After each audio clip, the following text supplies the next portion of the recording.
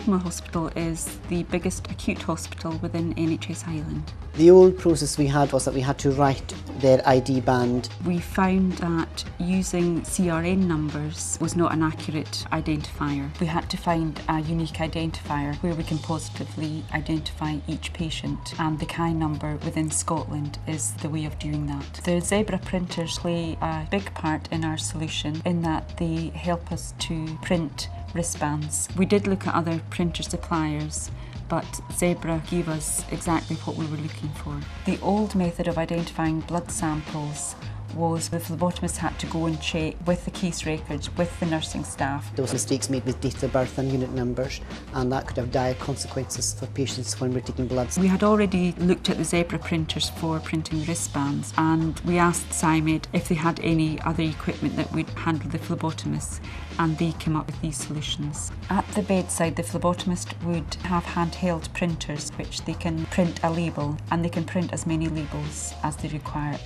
Within our hospital, we are very happy with the way that the Zebra printers are performing. It's much clearer, it's much easier to identify patients. It doesn't come off with washing. With the old bands, the writing could actually come off after a couple of days. I actually had a wristband on for 24 hours and tried everything to see if any of the ink came off and we were happy with that solution and went forward with Zebra wristbands. The staff have responded well to the new system. They much prefer it to the old system, they feel safer with it. The new solution has been cost effective because it stops the wastage of labels and it has also saved time. It's now quicker for them to do their rounds. The phlebotomists have found it easy to use. They like that it's portable. The benefits to the patient is they no longer have to keep repeating the same demographics. All the details that are needed are printed or barcoded within the wristband. I'm very confident that Zebra were the right choice. We're planning to expand on Zebra printers in the next couple of months. We will be broadening it to all of NHS Highland.